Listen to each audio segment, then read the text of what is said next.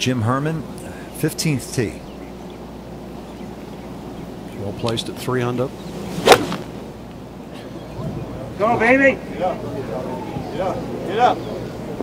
Great shot. Just clear to the water. And right there, tight for a birdie for Jim Herman. Now, Jim Herman, this guy a few years back, Frank, was working as an assistant up at Trump National in New Jersey. And the Donald himself said, You're too good to be in here. Folding sweaters, giving lessons. You need to be out on tour. And that's where he is. And that tee shot was too good to have anything other than a two.